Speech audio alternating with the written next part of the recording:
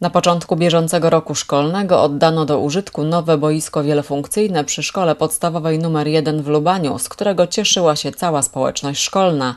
Dziś jest informacja, która przyniosła radość lubańskim władzom samorządowym. Podejmując y, decyzję o budowie boiska wielofunkcyjnego przy szkole podstawowej nr 1, staraliśmy się o dofinansowanie z ministerstwa.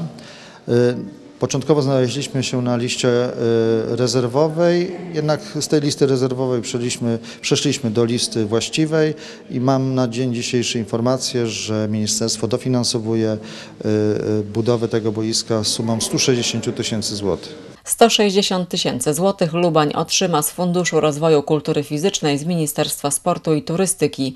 Cała inwestycja kosztowała 470 tysięcy złotych.